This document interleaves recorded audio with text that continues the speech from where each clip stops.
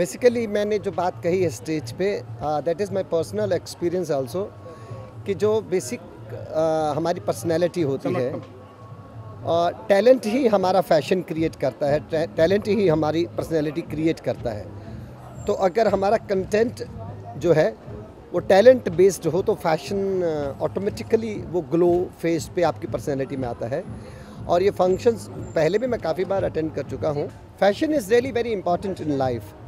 to be presentable is really very important अगर आप ये आ, हम लोग सोचते हैं कि कोई अमीर है कोई गरीब है तो ये मेरे को अभी तक I can not digest this concept कि who is rich who is poor fashion can be created everywhere आज का शो मुझे बहुत अच्छा लगा। I had smile till the end from the start I can say because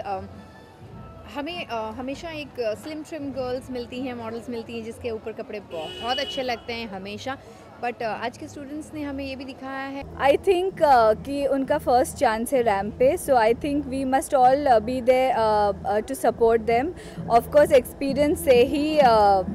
you know you get there only with a lot of hard work and experience but आज उनका पहला show है so I think for the first time they've done a fantastic job definitely I am crazy for fashion मैं fashion खाता हूँ fashion पीता हूँ fashion पहनता हूँ।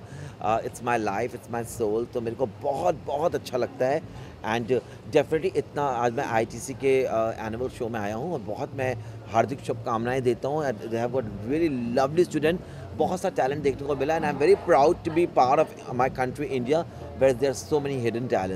मुझे बहुत ही अच्छा लगा कि जब स्टूडेंट्स खुद रैम पे उतरे अपने कॉस्ट्यूम्स पहन के इनफैक्ट और बीच में जब सुपर मॉडल्स भी आ रहे थे it was a very nice fusion I feel बहुत कॉन्फिडेंस मिलता है जब नए स्टूडेंट्स होते हैं जो इतने यंग होते हैं just out of the school और आउट ऑफ़ द कॉलेज होते हैं एंड